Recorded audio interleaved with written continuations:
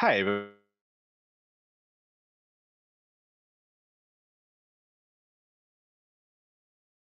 for this class.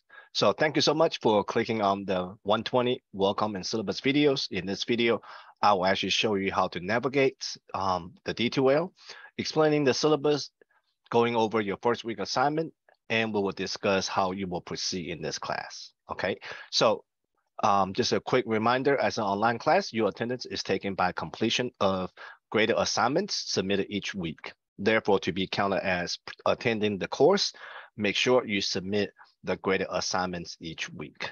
Okay, so thank you again. Thank you so much for watching this welcome and syllabus videos. So a real basic navigation. When you normally click on our class, the first thing you see is the announcement page. Rather than scrolling down, I would like you to click on content. The content displays everything for the course. So under the table content are already labeled, okay? by the weeks and by the topics that you'll be going over that week. So we will go over the course information um, here in a little bit.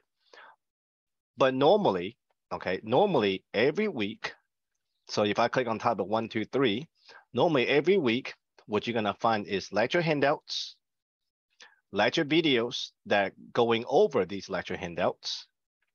You're gonna find your assignments. And I, so if the week has a discussion then I will post discussion. On, I will put the discussion as the first one. Then you have the homework for the week. Then you have Dropbox. Okay.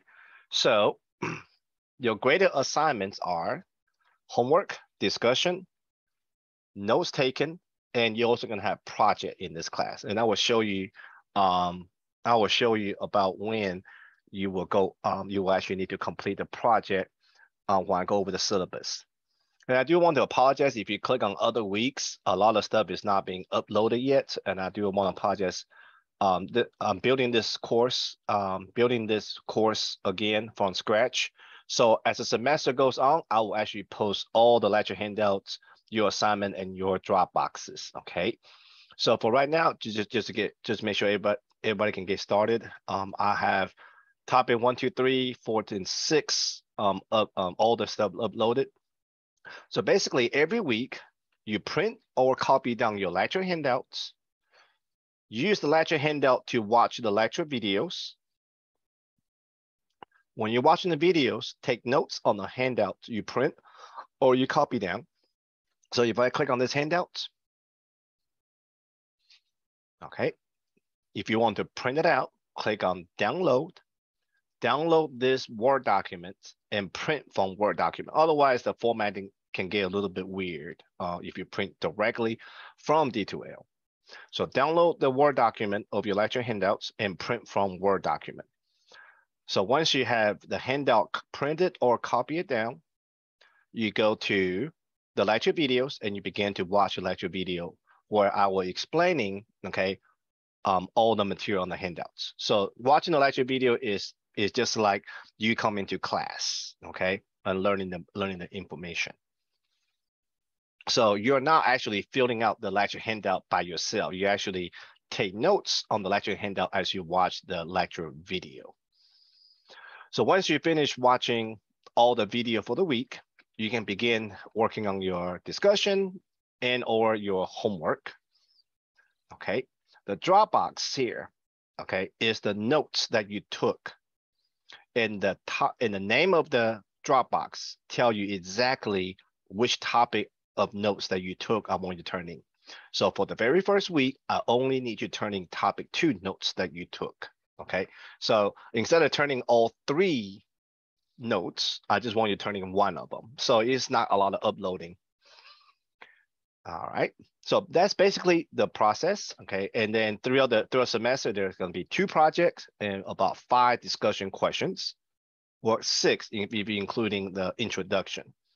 So welcome week is a little bit different. Welcome week, it's only two assignment here, the syllabus homework and introduce yourself to the class. This is considered as a discussion topic.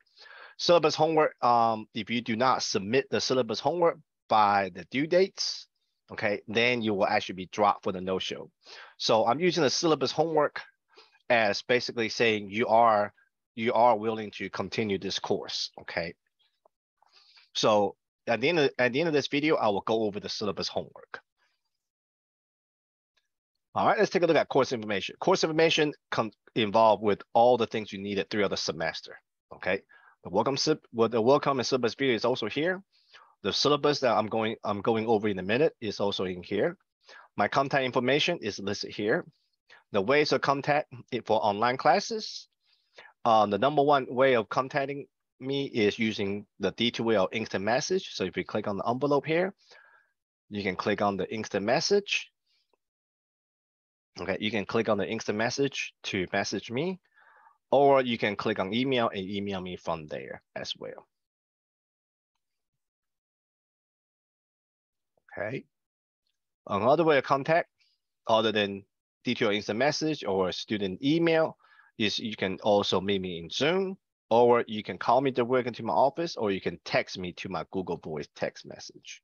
Okay, so I'm not always in my office. So if you if you call me, if you call me outside of my office hours, um, I will not know that you called until I come back.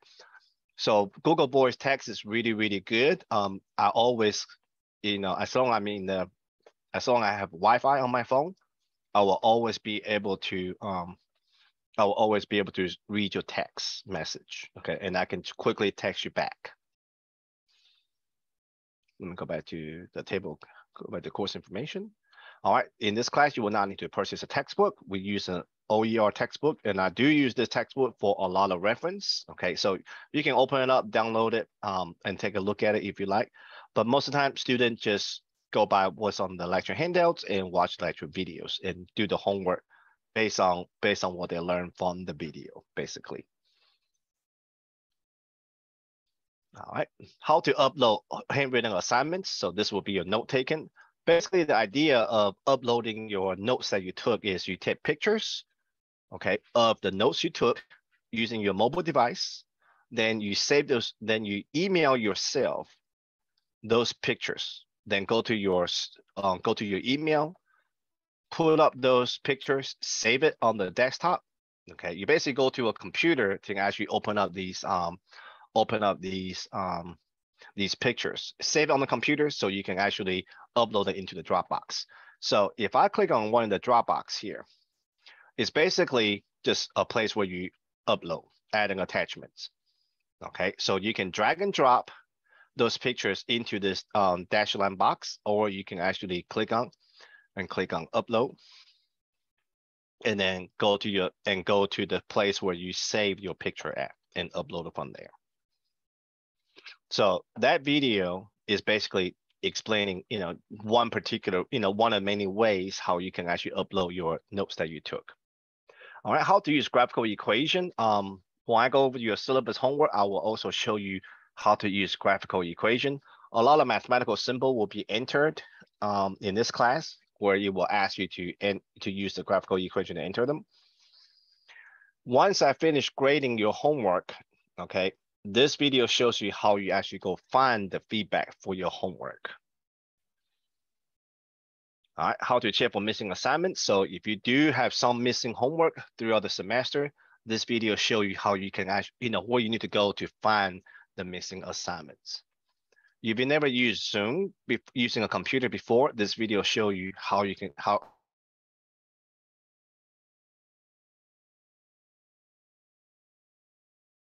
actually access your student NETC email account. Go uh, watch this video. Basically, we go to office.com. You know, me as instructor, I also go to office.com to access my my emails. So this um, video show you how, how you can uh, access your Office 365 okay? So you can actually have access to your student NETC email. Self-service is, student self-service is basically where all your um, academic information is stored. Um, so this video show you how you can access your student self-service, even though the video is geared more towards um, advising, but it also kind of show you how to you, how you can gain access to student self-service. You can check your grades, in, you know, for your other classes at the end of semester, you can check your grades using self-service. You can actually um, request transcript using self-service as well. So a lot of things that student needs is actually stored inside the self-service. Okay, so check out this video. so you can have access to your student um, self-service. NetTutor is our online tutoring um, um, platform. Um, NetTutor is, is uh, um, we are using NetTutor for the very first time this semester. So more information will be coming out regarding NetTutor. So when you do come into D2L, later on the semester, you will see more information about Net, uh, how students use NetTutors. So let's go over the syllabus real quick. So on the top of the syllabus, my content information is listed. You also tell you to, you can check my office hour and my phone number in D2L. Our modality is online course. Here is a course description, what we will be uh, covering this semester. So our entire course, we I divided into 30 topics, okay? Which actually which covers all these topics listed here. Okay. All right. I will, I will check everybody's prerequisites. Um, require materials. You do not need to purchase textbook, but you do need to have a graphing calculator. In these lecture videos, I will show you how to um, use graphing calculator to um, to do some of these statistical problems. Um, what students think about probability statistics? Okay, uh, what you what you what you, what you have seen so far um, is very very basic. The, our class does dive into a little bit deeper into probability and statistics. So graphing calculator definitely um, is required. So if you don't have one, you can borrow one from from family or friends or you can contact our enrollment center, see if they have graphing calculator you can you can borrow. But you will notice later on the semester, I will use a lot of graphing calculators. Okay, I will show you a lot of steps in the graphing calculators. Okay, and to to actually to actually do a lot of computation using that. Uh, here are the course objective and course learning outcomes. So for each topic within a week, okay, what you will do, like I mentioned earlier, is print or copy your lecture handouts, watch lecture video and take notes on those handouts you printed or copied. Complete the homework, complete the discussion if you have discussion that week, and of course, complete the project if you have project during that week. Once you finish taking all the notes, please upload your selected topic notes into the appropriate Dropbox. So remember, the very first week, uh, excuse me, not very first week, the topic, topic one, two, three, okay, I only want you to turn in topic two notes that you took. Not all of them, just topic two. All right, so here are your graded assignments, homework, discussions, note taken, and your two project are 10% total. Okay, each project is about 5%. And uh, project does have a lot of questions on there. Um, so the, you know, so just bear with me on the project. Um, it, I know it has a lot of questions on it since only two of them. So projects are not difficult. And I do have videos regarding to how to do those projects. So just bear with me on answering all those questions. All right, a little bit more about the homework. So homework are already will, will be posted in D2L. Questions on the homework are related to the topic written or uh, written on the lecture handouts and discussed in the lecture videos, okay?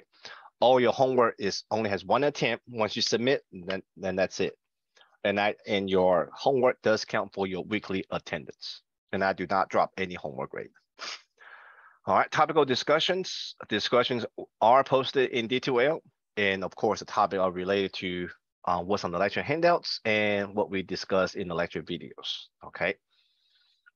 So we you only have one one attempt on the discussions, okay, and, and it does count for weekly attendance. Um, there are two discussion questions. It's almost like a class project. So it does require everybody um, to submit on time. So, so we can actually use the results of one discussion and then into the next discussion. So, so you will notice that due dates for, for, for those discussion topic, you know, is not toward the, um, the due date and end date is actually right there by the end of the week. So as I post more, um, as I post more homework um, assignments in the lecture notes and uh, lecture videos, you're gonna see you have a due dates for your homework, for your assignments, and you also have an end date. Okay, end date just allows you to make up the assignment. Okay, throughout the semester. without me having give you special permission, you know. So let's say for for the very for this week, topic one, two, three, you missed topic two homework. Okay. So you can make it up anytime during the semester as long as it's before December 1st. Okay. Even though you, you know, even though it's due on the August 28th, for example. But you got to make sure you make it up this homework assignment by December 1st. So December 1st is last day of the class. So last day of the class, um, the end date is, uh, even though the end date is on December 1st, but your your homework, you got to turn in at least one graded assignment per week to be counted as present for that week. Okay, so the due dates are here to make sure students understand that in the homework are due within that week. But if you but if you do need to make up some assignments, you can. That's not a problem.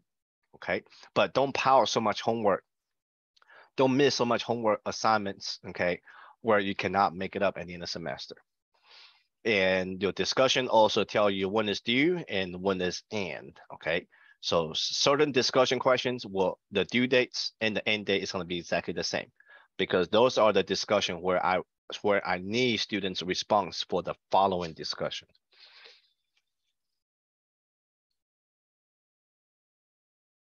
All right, note takens. There are selected topical notes take uh, notes each week for you to take while you're watching lecture videos you are required to upload the notes into appropriate drop, Dropbox in D2L. Please write your name and the date you watch the lecture video in pen on the top right-hand corner of every page you are going to upload into Dropbox. So I know that you actually are the one that took the notes. Weekly submission of notes taken will be counted for attendance. All right, there are two projects um, this semester, okay? And of course, the question on the top on, on the project are related to uh, the topic we talk about in, in the lecture videos and what's written on the lecture handouts, okay? Each project only have one attempt and you also count for that week, for that particular week's attendance. All right, here's my grading rubric, okay? For the homework projects, here are your standard grading systems, okay? And here are the weekly outlines. So we follow this weekly outlines very closely. What you see here is basically what you will see on under the course um, table of content in D2L. So we got discussion one, two, three, right? And then discussion four is not gonna be until October 10 to October 16. Discussion five is the following week, okay? Um, last project is due on the, um, it's gonna be due on the last week, December 1st and project one is right here is due gonna be due between um October 3rd and it's gonna be due on October 9th. Okay. So um I will I will definitely make sure I'll post um videos regarding to the project, what I want you to do as well. Okay. So everything is already laid out right here. Um, I just have not upload everything yet. So just stay with um just be patient with me. I will upload um all the course information as we, uh, all the course materials as we go along this semester. Attendance policies for no-shows. Okay, so the syllabus homework is very important. So if you, if you do not complete the syllabus homework during the first week after the online class begins, you will be marked as a no-show and be dropped on the class. So it's basically like saying you never show up for class. So you're not going to get charged for it. It's basically saying that we will remove your name from the class because you never attended. Now, if you do submit the syllabus homework, then you are bound by the following attendance requirement. The attendance requirement for online class says student must log in and complete a graded activity for each week to be counted as present.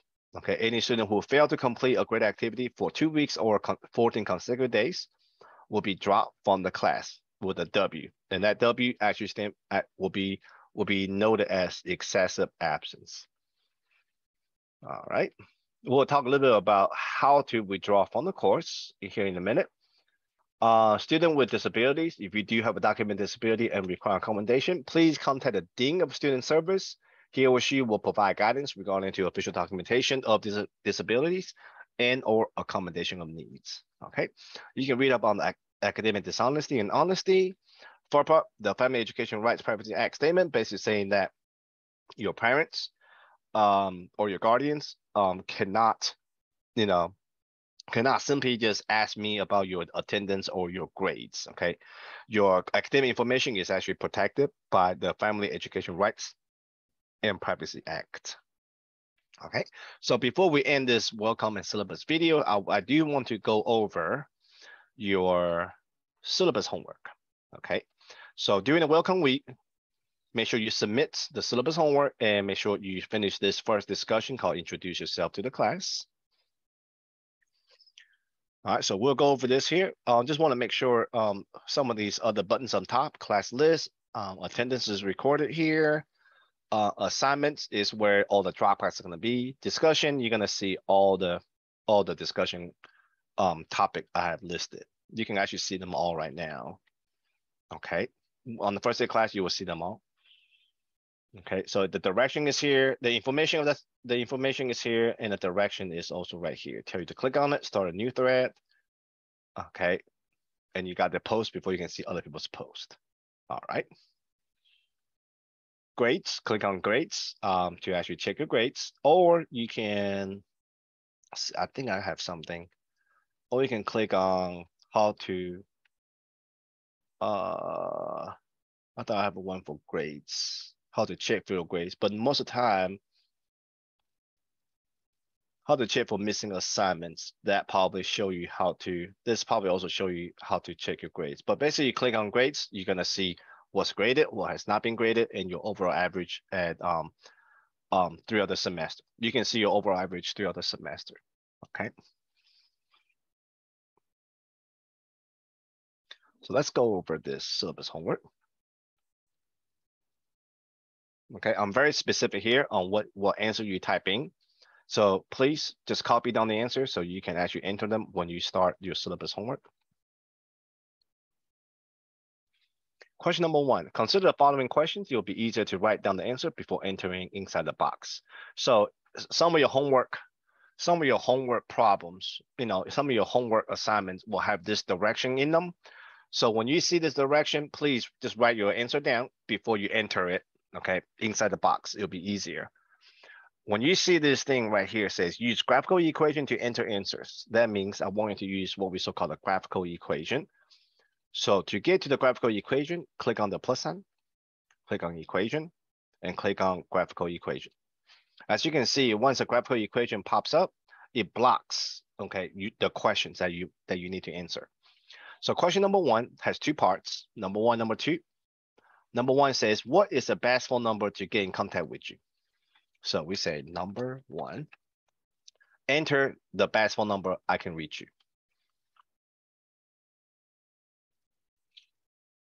Okay. This is your phone number. This is your best phone number. Okay. So why would I need this? Um, I so the only way I would need I will ever contact you on your, you know, I will contact you. The number you provide me is if you did not submit a graded activity for two weeks straight, then I will actually send you a text for my Google Voice number asking you what's going on, why you have not um, submitted any graded assignment for two weeks, you know. So that would be the only time I will ever, you know, you know, contact you using your your your phone number. Okay. So just kind of check up on you, make sure make sure you are still okay, make sure you still want to continue this course, kind of trying to find out why you have not submit a, a graded homework assignment for two weeks straight, okay? Because I definitely do not want you to fall behind. Well, when you enter your phone number, click on insert and press enter and go back to graphical equation. The phone number provided number one, is it a cell, home, or work phone number? Tell me which one is it? So we're gonna say number two. Is it a cell, work, or home number? Okay, just let me know, click on insert. Every time you enter something into the box, there's a check, and that check mark tell you that the answer is safe. So if you cannot complete the homework in one sitting, okay? Don't worry, your answer is safe. You can simply just exit out of it. But once you submit down here, once you submit the homework, then you submit it. okay? And that's a done deal. You only get one attempt. So if you're not quite ready to submit the homework yet, just exit out and come back to it. All right, number two, what are the best practice using D2L? Okay, so here are the answer. Please copy this down. This is what you will enter for me. Number one, please use a computer or laptop instead of using a mobile device. Okay, mobile device does not allow you to enter these mathematical symbols using graphical equation. The mobile device screen is real small. You are not even gonna see this plus sign here. Okay, so please, when you do your homework, projects, discussions, please use a computer or laptop instead of a mobile device. Number two, when you do use your computer or laptop, please use Google Chrome. Okay, so let's say you have a Mac computer, please use the use Google Chrome from the Mac. Okay, D2L is most compatible with Google Chrome. Make sure your computer or laptop has Word documents so you can actually pull up your, you can actually open and print your lecture handouts. Okay, so so if your computer does not have Word document, definitely you can check into that video on office.com, get access to your office.com, your Office 365, so you can actually um, download the Office 365. Okay, so every student has three has three free download for the Office 365.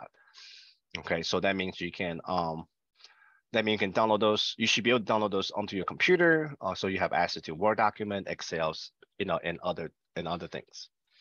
Number four, definitely use graphical equation to enter answers when it's asking you to.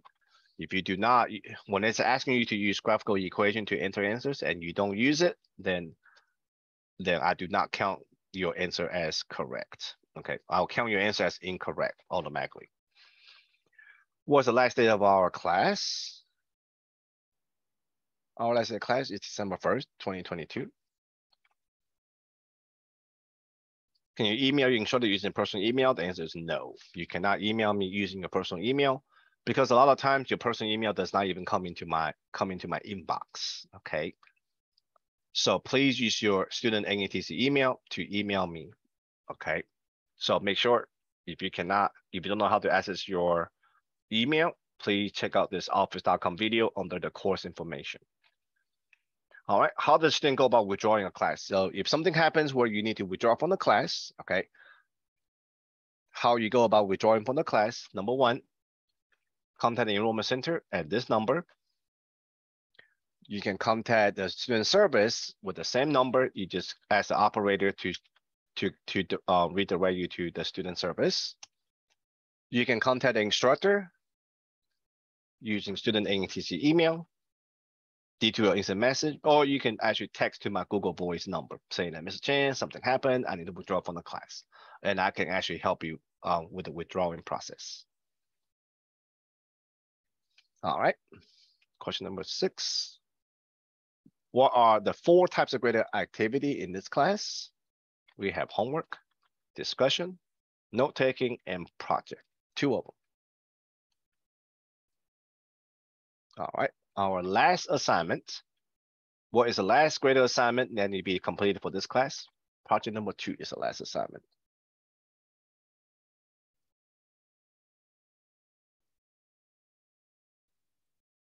All right, question number eight.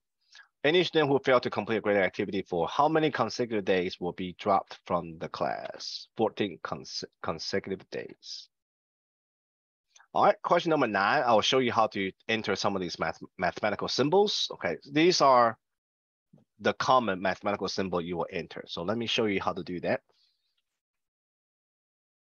So uh, number one, so I'm gonna click on the plus sign to go to graphical equation, equation, graphical equation. I'm gonna slide over. Okay, so number one, enter a fraction. Do not use slash for fraction. Use fraction bar for fractions. 16, okay. Click down here, 52. All right, the cursor is in denominator, so if you can click right next to the fraction or press the right arrow key on the keyboard. Then it automatically puts you right there, comma, space, 4 over 52 times 3 over 51. So that's two fraction bars. followed by a multiplication in the middle, fraction bar, oops, sorry. You know what, I'm gonna go ahead and type it in, four over 52. So I'm just using my keyboard times uh, on the fraction bar, three over 51. Okay, so once I type in number one, press insert. Do not type in all four and four lines of answer here, because once you click on insert, you're not gonna see anything here. Okay, so one line, one graphical equation. Press enter, let's do number two. All right, repeat the multiplication and exponent.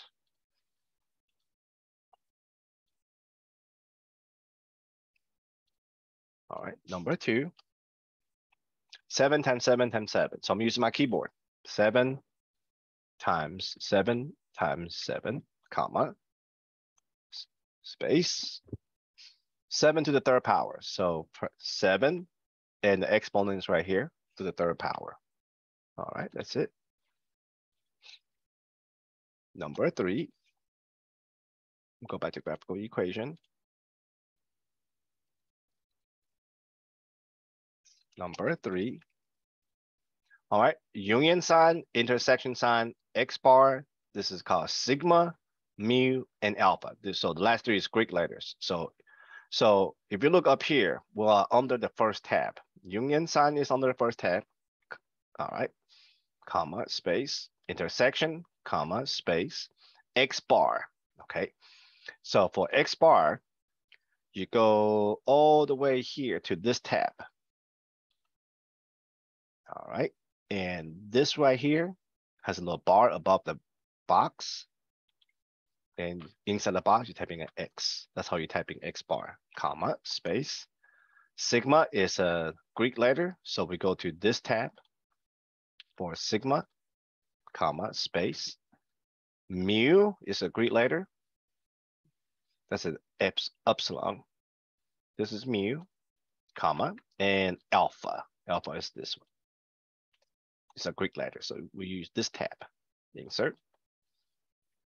All right, enter. All right, go back to graphical equation. All right, so number four, the first three called y hat, H-A-T, hat, y hat, p hat, q hat. So with the hat, we go back to the same place where the X bar is. Okay, here's a hat. Y hat, comma, P hat. All right. So see right here, my cursor is actually right, is inside that box. I'll press a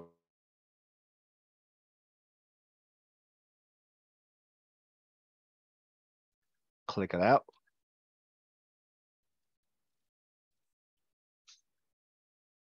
Comma.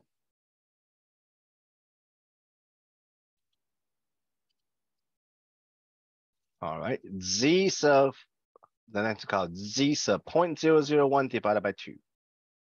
All right, so that's subscript, basically saying subscript. So I go back to the very first tab, tapping z, subscript, and fraction bar. And because this is 0.01 divided by two, 0.01 divided by two, okay? All right, so my cursor in denominator, if I press the right arrow key, per cursor is beside the fraction subscript. So one more, all the way to the right, comma, and then square root is under the first tab. Also square root, fraction bar for my 168 over 991. Insert, okay.